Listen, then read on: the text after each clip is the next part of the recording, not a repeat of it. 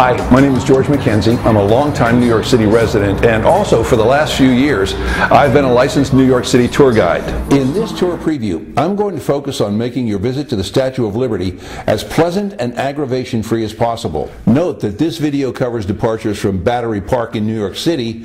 There are also ferries available from the New Jersey side of the Hudson River. Now, the first thing you should know if you're going to visit the statue is definitely buy and pre print pedestal reserve or crown reserve tickets in advance online. Okay, so why do I say that? Crown or pedestal reserve tickets only cost a few dollars more than regular reserve tickets. But if you only buy the regular reserve tickets, all you basically get is a ferry ride over to Liberty Island. You won't be allowed into areas like the museum and the pedestal balcony, which are places that really, really make your visit a lot more memorable. And here are a couple more reasons. Buying and pre-printing the pedestal or crown reserve tickets allows you to save a lot of time, possibly hours, waiting in line to pick up tickets at the ticket office in Battery Park. Now lines for those tickets sometimes stretch a quarter of a mile or more on busy days. And not only that, with pre-printed tickets, you can skip a stop at the ticket office altogether. You can proceed directly to a special line for reserved ticket holders only, and that line tends to be a lot shorter and a lot faster. It can be a huge time saver. Now, there are some other benefits to spending a few more dollars to get pedestal or crown reserve tickets. I'll tell you more about those in a moment. After you go through security, you get on the ferry that goes to Liberty Island. Make sure you get either a seat or a spot along the rail on the side of the ferry that you board. This will be the right side of the ferry, starboard side for you Navy folks, as the boat heads toward the statue.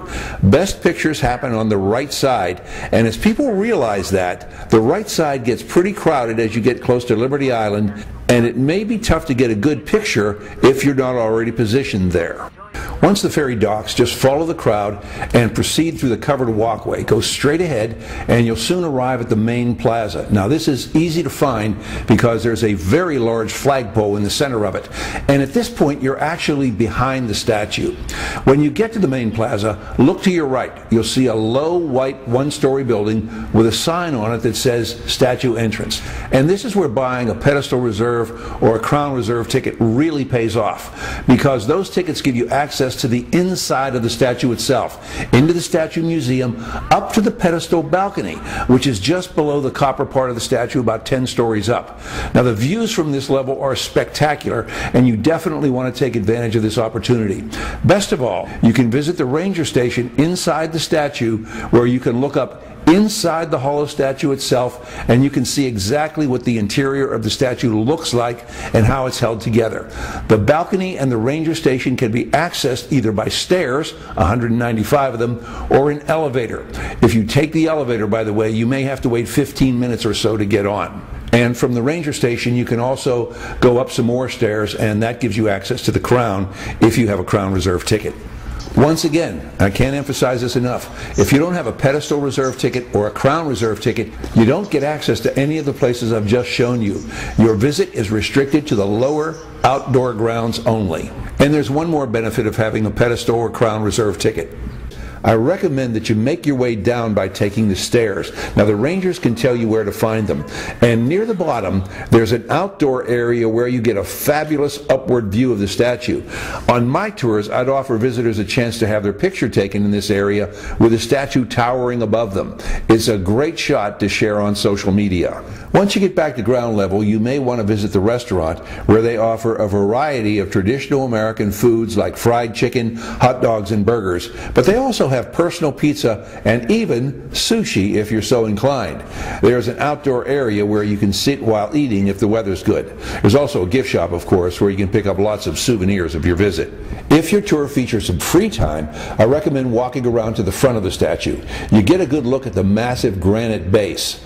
These walls were originally part of a 19th century military outpost called Fort Wood, and the fort was filled with 54 million pounds of concrete that now acts as the foundation for the 305 foot, 450,000 pound statue. There are some great views of the New York City skyline available from this area. And just to touch on a few interesting facts about the statue that you may not know, Lady Liberty, as she's often called, was a gift from the French people to the people of the United States. Construction was completed in 1886. You can learn a lot more about the history of the statue, by the way, inside the museum, which is located inside the pedestal. It will only take you about half an hour to walk through and view the exhibits. I recommend doing this before going upstairs to the balcony and the ranger station. And one of the things you should not miss inside the museum is the actual torch and flame that was on the statue from 1886 up until 1984. It's displayed in the museum lobby.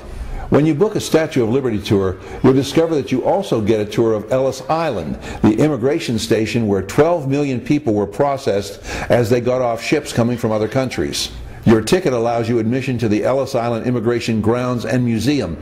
Now, if you prefer to skip this opportunity, as some people do, simply stay on the ferry and it will take you back to the dock you departed from. If you'd like to book a tour of the Statue of Liberty and Ellis Island, there are a lot of options. Click on the links below this video to check them out. You can also book one of many private tours of New York City by contacting me at this email address. And finally, please check out my blog to see more video tour previews and get New York City sightseeing insider tips. There's a link below for that too. Thanks for taking time to watch. I'm George McKenzie.